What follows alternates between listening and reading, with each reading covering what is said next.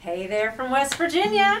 All right. Uh, yeah, okay. Anyways, let's get to it because I know that you're waiting for the joke of the day. So, what do you call a snobbish criminal going down the stairs? Snobbish criminal going down the stairs. A condescending, condescending. oh, that's good. All right, well, let's descend into solving linear inequalities. Okay, when you solve a linear inequality that has one variable in it, you need to understand that you do exactly what you would have done if you were solving equations. The same steps in terms of uh, reversing that order of operations and doing what you've already done to the variable but undoing it in opposite order. That's why it's so important to know those order of operations. And also the idea of what you do on one side of the equation you have to do on the other side of the equation. Remember that idea of the pan balance. And you got to keep it all balanced so you got to make sure you do the same thing on both sides. So exactly the same steps you would have done if you were solving equations.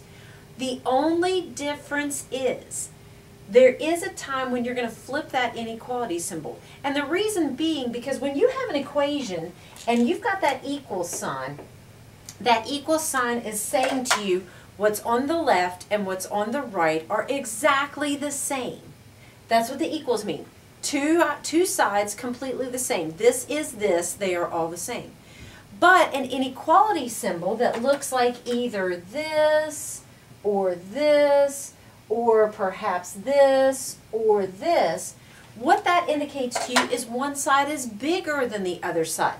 Now if you have the equal to part in here, that means the two sides could be the same. But the bottom line is this, it's not this type of situation where they are definitely the same. These indicate one is bigger than the other. In either of these two situations, one side is bigger than the other, or potentially the two sides are the same as each other. But I definitely do not have this equality and only equality idea going on here. So because of that, the whole pan balance idea is all knocked out. And so what you do on one side and you do onto the other side, it could flip that inequality concept around. The idea of perhaps this side being bigger than this side, doing the same thing on both sides could potentially change that. And now this side's bigger than this side. So because of that, there will be times when that inequality symbol will need to flip. So when is it that it needs to flip? Right here in blue. When you are multiplying or dividing by a negative, flip that symbol and you flip it around. Now, be understand that this statement is a very specific statement. Does that statement say, when you multiply or divide, flip the symbol? No, it definitely doesn't. Does that symbol say, when your answer is a negative, flip the symbol. No, it definitely doesn't. It's a very specific statement that says when you multiply or divide by a negative, multiply or divide by a negative, that action flips that symbol around. And I like to say that I look at it as doing that action across the symbol. Because if I do that action across this symbol, then in my mind what's going to happen is it's going to roll that symbol over. See, if it's an equal sign and you do the action across the symbol, like if you would add to both sides, then when I do that across that symbol, when it rolls the symbol over, it's still going to be an equal sign. It's not going to change the idea that these two sides are the same. But here, when I add to both sides and I roll it across that symbol, it's going to change the idea of the inequality, and suddenly that symbol looks like this. So like I said, in blue, critically important. When you multiply or divide by a negative, that action, doing it across the symbol, rolls that symbol over. Now once you do that and you get down to your answer that may look like any of these four situations, the solutions are going to be sets of numbers. There's going to be a whole lot of numbers that could be the answer. Now back when you had an equation and, and you came up with, say for instance, your answer being perhaps like, oh, x equals 5 what that meant was 5 is the one and only number that I can plug back into my equation at the beginning and get the two sides to be equal to each other. So this variable has got to be a 5. It can't be anything else, only a 5. However, you will find that with these inequalities, you're going to get a whole bunch of numbers that you could plug back in and get a true statement. Understand that we're all talking about truth here. Everything with equations and inequalities is all based on truth. So in this type of situation, when you have an equation and you get this type of answer and you say, okay, 5 is the number that I can plug back into the beginning, that's the only number that will create truth. In this case, truth is the two sides being equal to each other. However, when you have inequalities and you've got situations like this, and you're trying to create truth, there's going to be a whole bunch of numbers that you can plug back into the beginning, and in this type of case, get this side to be bigger than this side, or potentially equal to each other. In this case, get this side to be bigger than this side, but not equal to each other. That's not even an option. And in this case, the numbers that I can plug back in will create truth only if what I get over here is going to be smaller than this side or potentially equal to each other. But in this case right here, when I plug that number, those numbers back into the beginning, what will create truth will be if they come up with this side being smaller than this side. And no equality, no, no situation where the two are equal to each other will suffice. So again, it's all based on truth, but in this type of situation, there was only not one number that when you plug back in will create truth. However, in these inequality situations, there's a whole bunch of numbers that you can plug back in and create truth. So because of that, we will call our answers solution sets. Now, that once you get to that solution set, like I said, it'll look similar to this. Notice in each one of these cases, I do have X's and A's and B's, but these A's and these B's are actually going to be numbers. So it would be like maybe an X greater than 5, or X greater than or equal to 5, or perhaps an X smaller than 5, or an X smaller than or equal to 5. So again, the only thing really that's going to be a variable here is going to be that x. But when you get to those answers and they look like this, um, you can graph those solutions on a number line. And once you get that graph, you can turn it into what we call an interval notation. And an interval notation is simply math symbols to represent what that graph looks like. So we'll come back to this here in just a minute. I want to walk us through this idea of, okay, how do I solve that inequality? Because this concept of interval notation is a very strange concept. So let's take a look at an example here. All right. So in each of the examples, and I'm going to have three more that we're going to go through after we get through these. Um, in each one of these examples, what we're going to do is we're going to solve that inequality. And remember, what that simply means is do everything you would have done if it was an equation. Just look out for whenever you multiply or divide by a negative, and when that happens and you do it across the symbol, roll that symbol over and flip it over.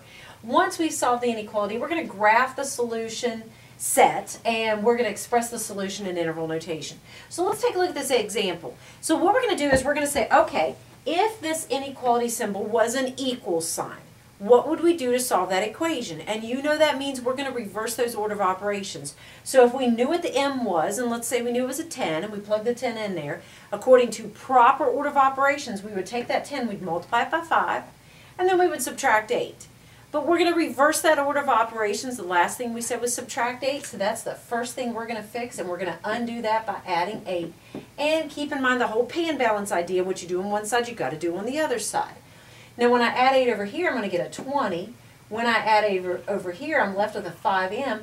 Do I flip that symbol? Absolutely not, because we didn't even multiply or divide. So you have to multiply or divide by a negative to flip the symbol, and we didn't even multiply or divide at all. So we won't flip the symbol, and we're going to look at this. Now, the next thing to do to get that m by itself would be to divide by 5, and remember, pan balance do the same thing on both sides. So now when we divide by 5 over here, we're going to get that m, and on this side, 20 divided by 5 is 4. Now, I did divide, so do I flip the symbol? Absolutely not. Yes, I divided, but not by a negative. So I won't flip that symbol. It'll stay just like this. Now, what we need to understand is that this solution, keep in mind, when it was an equal sign, remember, when it was an equal sign, we said that this meant this is the one and only number that we can plug back into the beginning and create truth. Truth being the left and the right sides being the same. However, in this one, what it says is all the numbers that will work, that's these. All the numbers that will work are bigger than a 4. Remember, with inequality symbols, we've talked about this before, with those inequality symbols, the big end over here goes with the big number. The small end down here goes with the small number. So in this, the big end is with the big number, the small end's with the small number. So this is smaller than that. And remember, these are the ones that will work. These are the numbers I can plug back in. So all the numbers that will work are going to be bigger than a 4. So when I look at that number line and I go, okay, here's my number line, and here's 0, here's 4, where is everything that's bigger than a 4? Bigger than 4 is going to be everything over here to the right. So what I'm going to do is I'm going to shade everything to the right to say those are the numbers that will work. The reason we do it this way is because, let me, let me step back a second and explain this a little bit further. The reason we do it like this is because we say, okay, what would work would be perhaps a 5, perhaps a 6, perhaps a 7. But wait a minute, what about this 5 and a half? Or wait, what about this five and a quarter? What about this five and three quarters and the five and seven eighths? And oh my goodness, what about this number here? And all these numbers are bigger than four. So what we're doing is we're putting dots on the numbers that will work because when we had an equation, that's what we would have done. When we had m equals 4, we could have graphed that, and what we would have done is we would have said, okay, I'm going to put a dot on what works. What works is just the 4, that's it. That would be the graph to represent that type of solution. So here, I'm going to continue with that idea of putting a dot on what works, but all these dots are getting so close together that basically this whole end of the number line is going to get dotted. It would be easier for me just to shade that whole side of the number line. So that's what I'm going to do, is shade everything over here. That's going to continue on forever. And to represent that it's going to continue on forever, I'm just going to shade that arrow that's there on the end to say, yep, that's going on forever. Now, we used to, here's where the interval notation idea comes in. We used to say, okay, there's no equal to part, and what that means is 4 is not a solution. If I put 4 in here, will it create truth? Now you put a 4 in here, 5 times 4 is 20, 20 minus 8 is 12, but that would say 12 greater than 12. Is 12 greater than 12? No, they're equal. That there is no equal to part in there. So for truth to happen, this side has got to be bigger. Equal to is not okay. So therefore, this 4, therefore this 4, is not a solution. So one way we, that we could represent that is we could put an open circle in there, and many of you are used to seeing open circles to say, nope, that doesn't work. However, what we're going to do, instead of open circle, we're going to put a parentheses in there. Now, the parentheses is going to go like this, and the reason we do this is all because of that interval notation concept. So let me flip back here for just a quick second and then we'll finish this out. Um, so what I had stated right here was when you graph those solutions to those inequalities, that parentheses is going to mean the endpoint is not a solution. What used to be an open circle. In other words, they are not included in that solution set.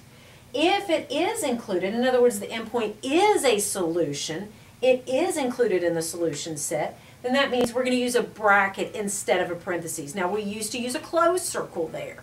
But instead of a closed circle, we're going to use a bracket. Instead of an open circle, we're going to use a parentheses. And again, it has everything to do with this idea of this interval notation.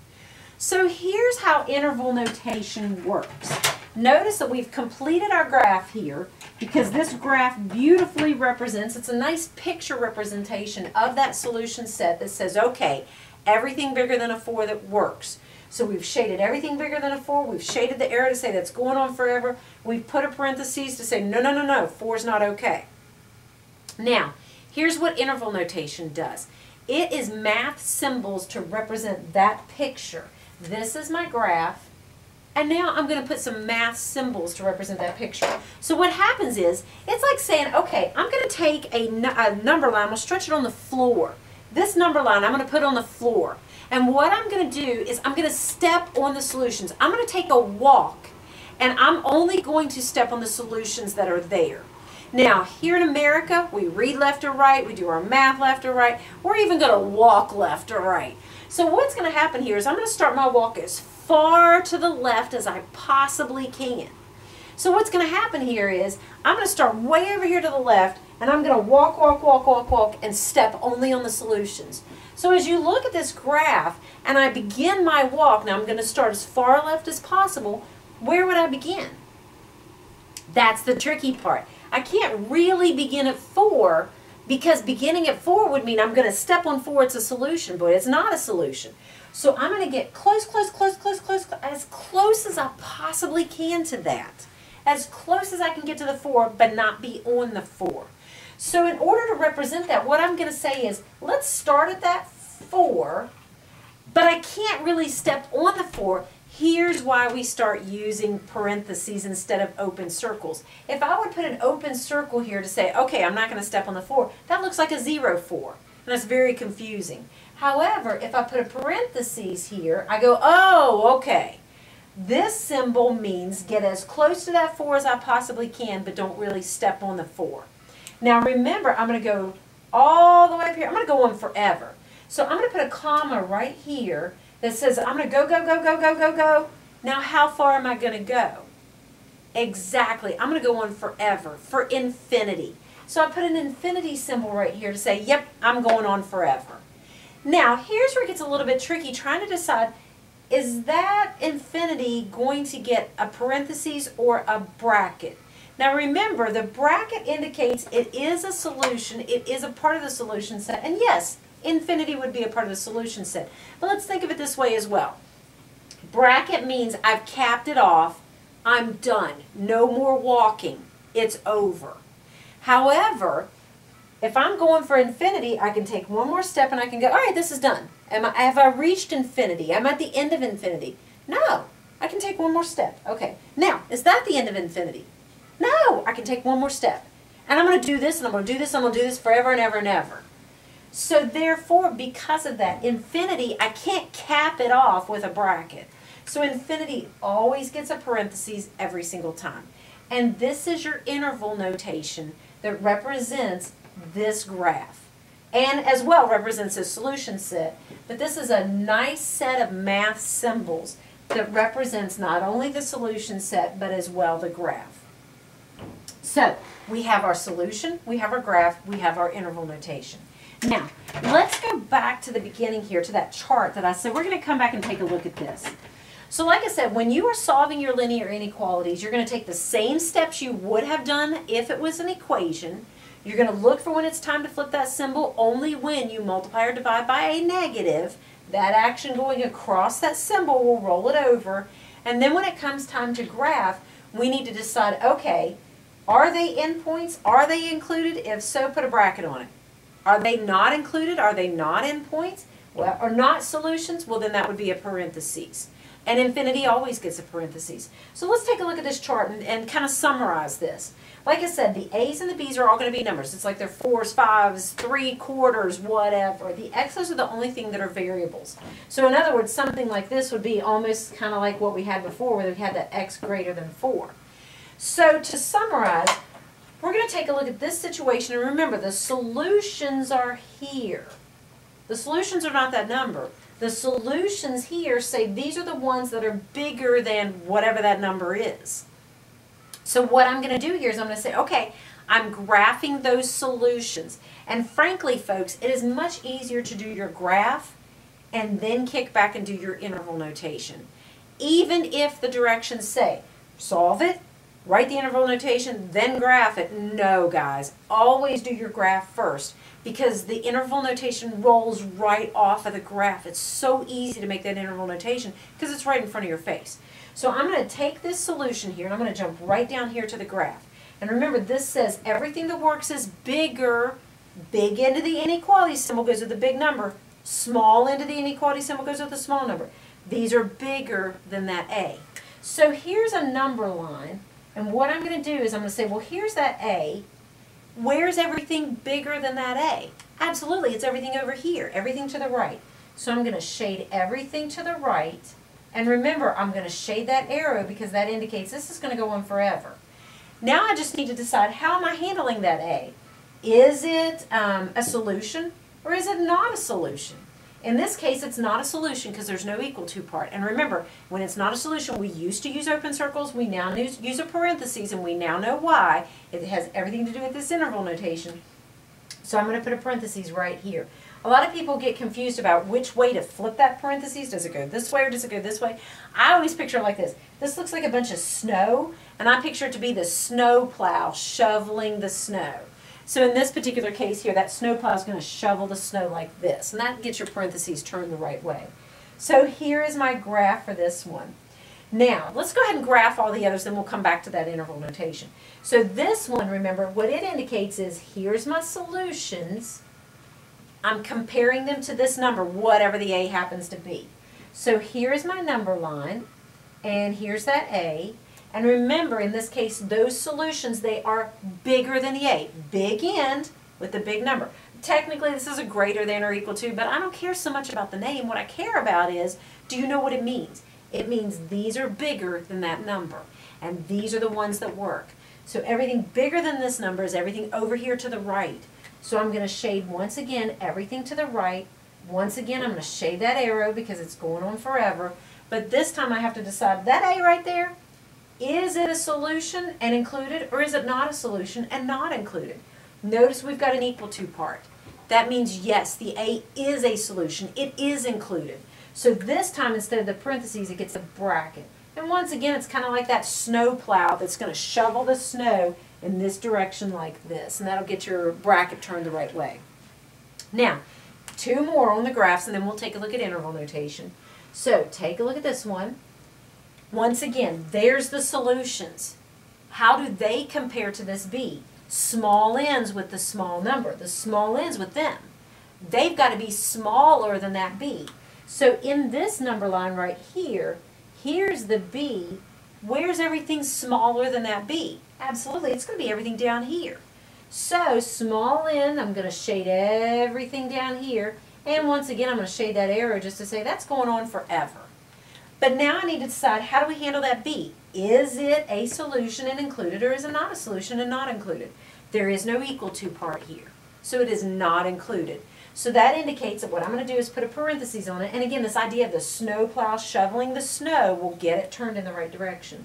So my parenthesis is going to go like this. And now the last one. There's my solutions. How do they compare to that B? And one more time, they are smaller than that B. Small n goes with a small number. And like we said before, everything smaller is going to be down here. I'm going to shade that arrow because it's going on forever. And one last time, is that B here a part of the solution and included, or is it not a part of the solution and not included? It is included because there's an equal to part. So that means it gets a bracket. And one more time, that snow plow is shoveling the snow in this direction. So it's going to get a bracket that goes like this. There's my graph. Now, let's take a look at this interval notation idea. Once again, math symbols to represent this picture. The beauty of doing the graph first is that interval notation rolls right off of it. So what happens here is, remember, I'm going to lay this number line down on the ground. I'm going to start over here as far left as possible, and I'm going to step, but only on the solutions. So if I start over here and I step only on the solutions, where do I begin my walk? Yes, as close to the A as possible, but I can't step on the A. So I'm going to start here at the A, but because I can't step on the A and it's not included, I'm going to put a parenthesis. And then I'm going to put a comma that says, I'm going to walk, walk, walk, walk, walk, walk, walk, walk, walk. How far am I going to walk? Yes, I'm going to walk forever. So I'm going to walk to infinity. And like we said before, infinity always gets a parenthesis because you can't cap off infinity. So it's going to get a parenthesis to say, yep, just keep on going. Now, let's try this one out. Once again, stop Uh, start, start all, far left as possible. So I'm going to start way back here on the left. Where will I begin walking if I only step on the solutions? Absolutely, I will start walk right here at the A. But remember, this time the A is included. So it's going to get a bracket. And I'm going to put that comma to say I'm going to walk, walk, walk, walk, walk, walk. How far am I walking? Absolutely, I'm walking to infinity. And infinity always gets a parenthesis. Now, let's flip it around a little bit. Take a look at this one. I'm going to start as far left as possible, as far over here as I possibly can. Notice what happens here. I've got the arrow that says I'm going on forever this way. So where will I begin walking? Yes, over here at infinity. But be very careful because this infinity is on which side of the number line? Yes, it's on the negative side of the number line. So I need to have a negative infinity sitting there. Let me give myself some room. Negative infinity. And remember, infinity always gets a parenthesis. And now I'm going to walk, walk, walk, walk, walk. That's what the comma means. Walk, walk, walk, walk, walk. How far am I going to walk? Oh, I'm getting stuck right here because I'm only stepping on solutions. So I get stuck at this B and I have to decide, is that B a part of the solution set? Well, this parentheses indicates no. So I'm going to put a parentheses with it. And now, last one, once again, start as far left as possible. Well, that arrow says I'm, I'm starting way back there forever at infinity, but once again on the negative side of infinity. So I'm going to start at negative infinity, which always gets a parentheses. I'm going to walk, walk, walk, walk, walk. How far? Up to the B. Yes, up to the B. Now, that B, is it included? Absolutely, because it has a bracket right there. There's the interval notations that represent each of those graphs. And hopefully you're seeing, like I said, even if the directions say, solve it, then write the interval notation, then do the graph, no, do that graph first or do second anyway, solve it, do the graph, and then come back to interval notation because it's so easy to take this picture and create that interval notation. And like I said, it just kind of falls right off of it. It just kind of goes, and it's right there in front of your face.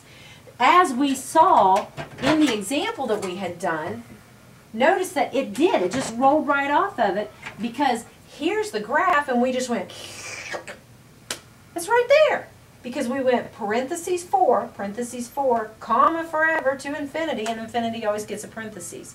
So always do your graph before you do that interval notation. So let's take a look at this situation.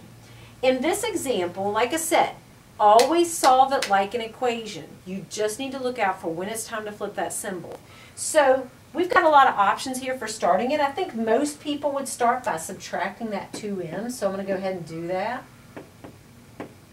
When I subtract 2m on this side, I'm going to get a 3m minus 4. On this side, I get 11. Do I flip the symbol? Absolutely not, because I didn't even multiply or divide. And I have to multiply or divide by a negative in order to flip that symbol. Now, the next step that I would do would be that, see, I notice I put all my variables on this side. That means all the constants need to go on this side. So I'm going to add a 4 to slide it over to this side. And that will leave me with a 3m on the left and a 15 on the right. Flip that symbol. Nope, still didn't even multiply or divide. Now, the next step here is that I'm going to go ahead and I'm going to divide through by 3 and I'm going to divide by 3. Hey, I divided. So do I flip that symbol? No, I didn't divide by a negative. I have to divide by a negative in order to flip that symbol. So the symbol's going to stay exactly like it is. So here is my solution. I'm now ready to graph that solution, and then I'm going to write the interval notation for it. Remember, when I go to graph this, what I am interested in is I'm interested in saying, here's those solutions right there. How do they compare to that 5? Well, notice small end with a small number, so the small ends with these. They are smaller than that 5. Well, on this number line, where's everything smaller than the 5? Yes, everything down here. So I'm going to shade everything down here. And I'm going to shade that arrow because it's going to go on forever. And now I just need to decide, what about that 5? Is it a part of the solution set and included, or is it not a part of the solution set and not included? There's no equal to part there, so it's not included. So it gets a parentheses, and once again, the idea of the snow plow shoveling the snow. So it's going to go like this. And there is the graph that represents that solution. So now I just have to do the interval notation, and again, so easy, it's right in front of me. Just remember, even though I'm going to go, and it's going to sit right there, I always start as far left as possible when walking. So I'm going to start way down here at infinity, but like we said before, that's on the negative end of the number line. So it's negative infinity. And infinity always gets a parentheses. I'm going to walk how far up? All the way up to the Remember, the 5 is not included. It gets a parentheses as well. And here's where it just rolled right off of the graph. Do that graph before you do the interval. makes life so easy. So there's your solution, there's your graph, there's your interval notation. All right, let's try another one. Similar to this, but I, I want to put a twist to this. Because this time, instead of subtracting that 2r, I think I want to subtract the 5r. Just want to prove a point here. I know, most of us would subtract that 2r first. I would too, but I just want to uh, make an illustration for you. So when I subtract that 5r on this side, I get a negative 3r minus 18. And on this side, I'm left with just a 3. Do I flip that symbol? Nope. Did not even multiply or divide.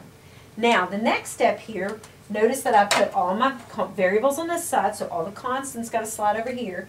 So I'm going to add that 18 here, and I'm going to add that 18 here, and that will give me a negative 3r. And on this side of 21, do I flip the symbol? Nope, didn't even multiply or divide. All right, next step, now what I'm going to do is divide by that negative 3. That'll leave me with an R on the left and a negative 7 on the right. Do I flip the symbol? Yes, because this time not only did I divide, but I divided by a negative. And remember what I kept saying about it's the action of doing it across the symbol that will roll it over. I divided by a negative here and over here as well. So that rolling across the symbol will flip it around so that it looks like this. There is my solution to the inequality. Now, I'm ready to graph it. And remember, that's what I'm worried about right there. So I need to ask myself, how do those numbers, because that's where those solutions are, how do those numbers compare to that negative 7 that's sitting down here? They are bigger. Big ends with a big number, small end with a small number. These are the small numbers, these are the big ones. Where is bigger than this negative 7? Sure, yeah, everything over here to the right. So I'm going to shade everything to the right and shade that arrow because it's going on forever. And now I just simply need to decide how am I going to handle the negative 7? Is it a part of the solution and therefore included or is it not a part of the solution and therefore not included? Well, this, this equal to part here means it is a part of the solution. So therefore it's going to get a bracket and remember this idea of the snow plow shoveling the snow in this direction. So bracket going like this. And there is the graph that represents that solution. Now I just need to write my interval notation. And remember, start as far left as you possibly can. So I'm going to start way back here at this negative 7. And like we said, it is included, so it gets that bracket. And I'm going to go, go, go, go, go, go, go. That's what the comma means. And I'm going to go forever to infinity. This infinity is on the positive end of the number line, so I don't need to worry about the negative. And remember, infinities always get that parentheses. So there's the interval notation that represents it. Okay, let's try just a few more because you know that I like to make sure you feel really confident with this stuff. And I want you to see everything that you could possibly run into so that nothing surprises you. Lots of examples is always good because it gets you really solid on this stuff. Okay, enjoy the scenery here while I uh, clean this up. Okay. So let's try now. Uh, ABC, this is D, and I've got one third parentheses 3t plus 6 parentheses less than one third parentheses 6t minus 9. Okay, same directions. What I'm going to do is I'm going to solve it and then I'm going to graph the solution set and then I'm going to write the interval notation. Now there's a couple of ways of handling this. One way is to say, okay, let's distribute that one-third through. Another way is to say, let's just divide by the one-third from the beginning. Either way is perfectly fine. Um, I would not distribute through if the one-third will not distribute into nice numbers. Um, but it will, because if I distribute the one-third through, one-third times 3 will give me just a 1. One third times six will give me just a two, so that was nice and clean. And here, one third times six is going to be a two, t, and then one third times negative nine is going to be a negative three. So I get some nice clean numbers when I distribute through. Now, I multiplied through, do I flip the symbol? No. Remember, for one thing, you've got to do it across the symbol, and I only multiplied to this side when I distributed the one-third through. Same thing over here. I only distributed to the side. And I've got to be able to do it across the symbol to make it flip. Plus, didn't even multiply by a negative. But here we are. So now this looks very much like the ones we had previously where, okay, I'm going to put all my variables on one side.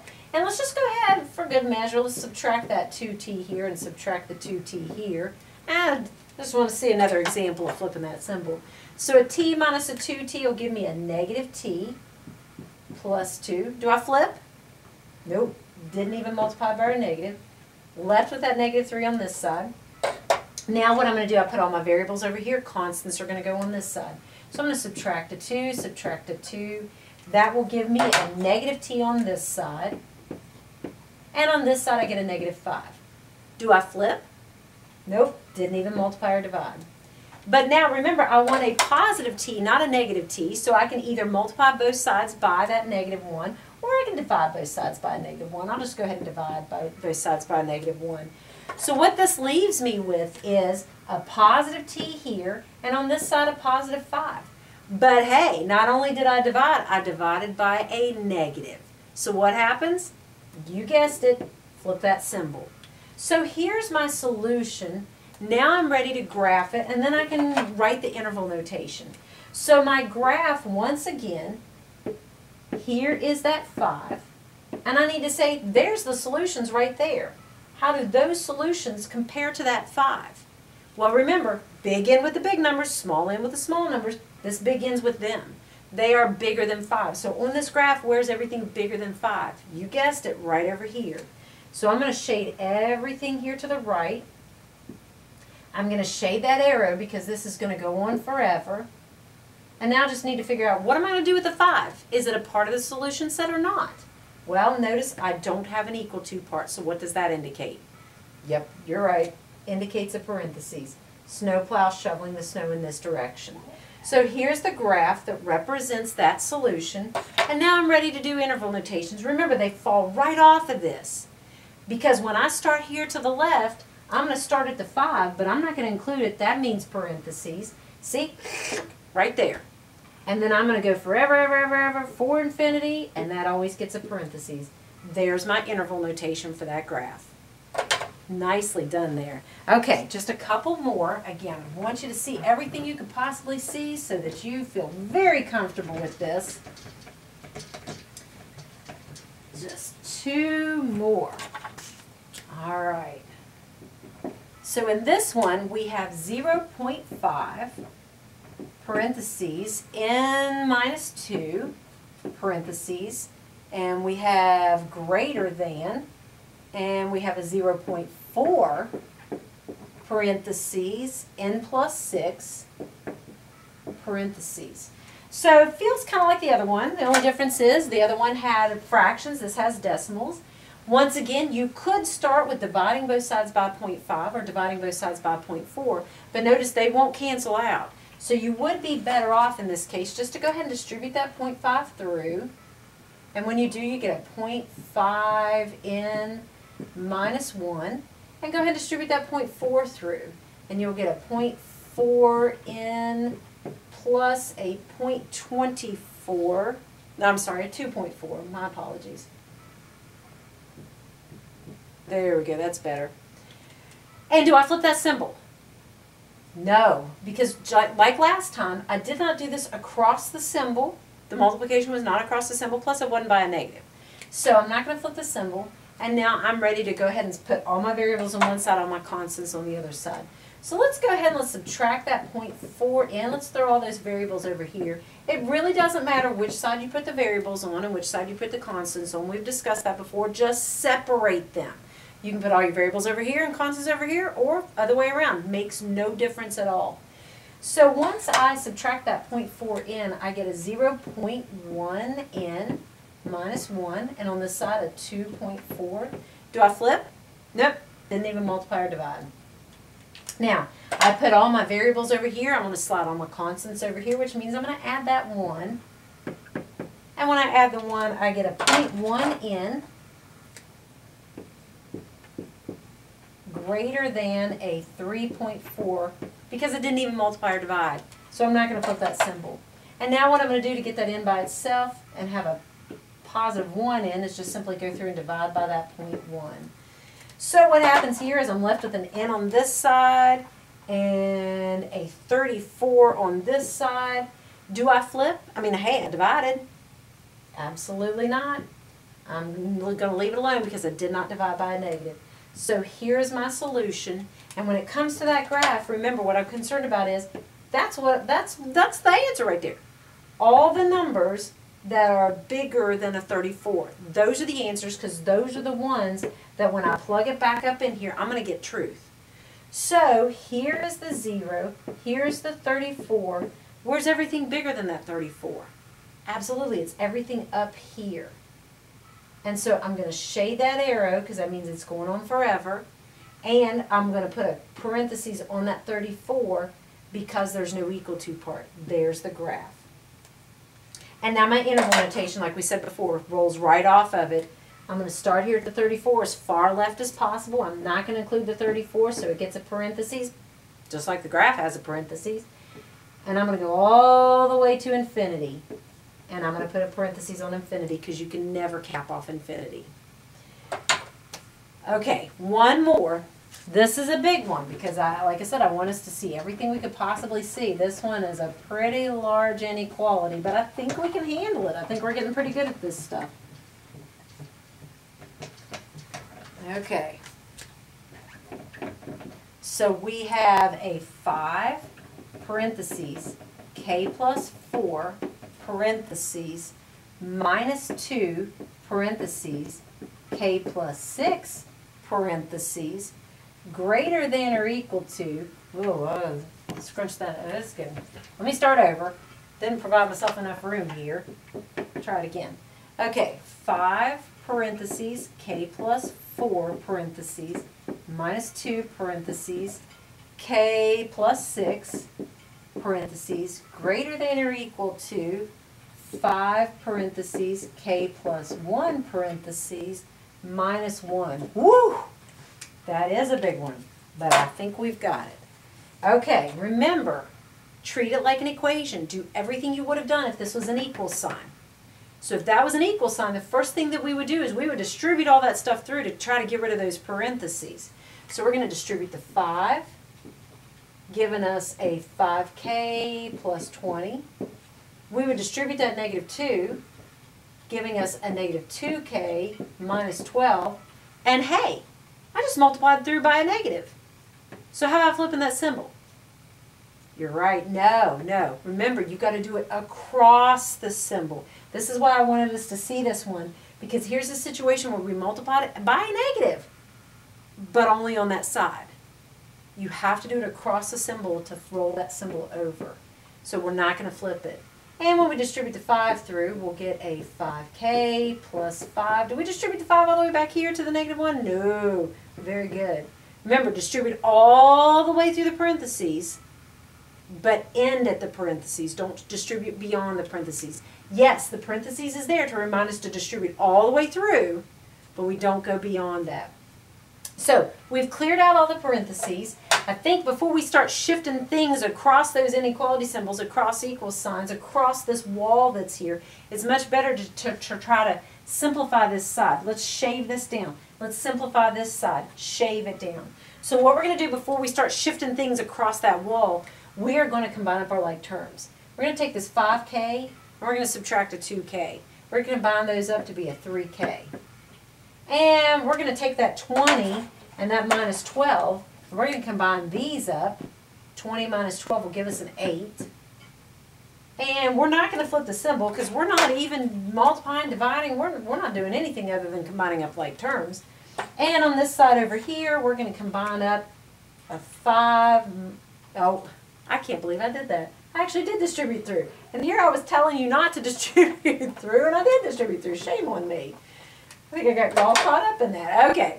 So a 5 minus 1 will give me a 4, leaving me with a 5k plus 4. There we go. So just like before, what I'm going to do is shift things on either side. Let's go ahead and in this case, let's just subtract that 3k from both sides. Because uh, yet again, I want to prove another point to you. We've seen enough of this where we come up with a negative on the variable and that makes us flip. So I'm going to subtract that 3k. That's going to leave me with an 8. And on this side, a 2k plus 4. Do I flip? Nope. Didn't even multiply or divide. And so I sent all my variables over here. That means all the constants have to go on that side. That means take that 4 out of there. And let's subtract 4 from both sides. Leaving me with a 2k over here. And on this side, an 8 minus 4 will give me a 4. Do I flip? Nope. Didn't even multiply or divide. However, now I'm going to go through and I'm going to divide by that 2. And when I divide by 2, 4 divided by 2 is 2. So I get a 2 on this side, a k on this side. Do I flip? Hey, I'm, I divided. Do I flip? Nope. Didn't multiply or divide by a negative. Here's the point that I'm trying to make. There's my solution. And a lot of people, they don't like having that variable over there on the right. They, they feel a need to have the variable on the left. You don't have to. Your, your whole goal is separate constants and variables. Just get, the, get them away from each other. And you did that successfully here. So it's okay to leave it like this. But if you are one of those who just can't stand to have that variable over there on the right hand side, that's okay. You can move your variable over here, put the 2 over here. But remember, the small end of the inequality symbols with a k. The big end's with the 2. So if you're going to rearrange it like this, you've got to make sure that the small end is still with the k and the big end is still with the 2. So if you really need to have it look like that, you've got to flip everything around. Now remember, here's why I said it does not matter which side you've got it on, because in terms of my graph, all I care is that I'm worried about these numbers right here. How do they compare to the 2? Yes, they're smaller than the 2. Small n goes with the small numbers, big N goes with the big number. This is the small n. These are smaller than 2. So there's that 2. Where's everything smaller? Certainly, everything down here. So I'm going to shade everything down here and remember, I'm going to shade that arrow because it's going on forever. And if you would have written it this way, notice what it says. This is what I'm worried about. These, how do they compare to that 2? They're smaller than the 2. It's the same thing. And that's why I say it really doesn't matter which side you've got your variable on because all that matters is which end of the inequality symbols with the variable and which end of the inequality symbols with the number. So we've got a setup here.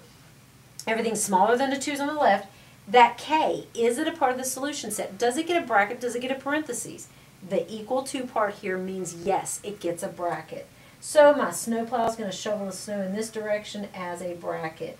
And there is my graph that is a picture representation of these solutions. And now I'm ready for my interval notation, and I'm going to start as far left as possible. Here, as far left as possible, is back here at negative infinity, which always gets a parentheses. I'm going to go, go, go, go, go. How far am I going to go? Up to the 2. And 2 is included, so it gets a bracket. And there's my interval notation. That is math symbols to represent that picture. The picture is a, a picture representation of those solutions. And one more thing I want to make sure you really understand in terms of truth. So all these numbers back here, I said this is everything that will work. So anything that I pick back here, when I plug it in right here here, and here, it will create truth. For instance, if I pick the 0, it will create truth because 0 plus 4 is 4, 5 times 4 is 20, 0 plus 6 is 6, negative 2 times 6 is negative 12, that gives me an 8, and over here, 0 plus 1 is 1, 5 times 1 is 5, 5 minus 1 is 4, and this says greater than or equal to. Is 8 bigger than 4? Sure is. So see, everything back here works. Any of these numbers will work. Anything up here won't work. If I picked a 5 and put it in there, 5 plus 4 is, 20, is 9. 9 times 5 is 45. And then if I put that 5 in here, 5 plus 6 is 11. 2 times 11 is 22. And then 45 minus 22 is 23. And if I put that 5 in here, 5 plus 1 is 6. 5 times 6 is 30. 30 minus 1 is a 29, and this says 23 greater than or equal to 29. Well, that's not true. 23 is not bigger than 29. So see, everything back here doesn't work. And how about that 2? When I plug it in here, 2 plus 4 is 6. 6 times 5 is 30. And then here, 2 plus 6 is 8. 2 times 8 is 16. And 30 minus 16 is going to be a 14. And when I put the 2 in here, 2 plus 1 is 3. 5 times 3 is 15, and 15 minus 1 is 14. And remember, we said bigger than is okay, but equal to is as well okay. 14 is 14. So that's why the 2 works. That's why it is a part of the solution set. So, hopefully this helps you to understand how to solve your linear inequalities when you have one variable in there. Not more than one variable, just one variable. Treat it like an equation. Do everything you would have done if there was an equal sign in there.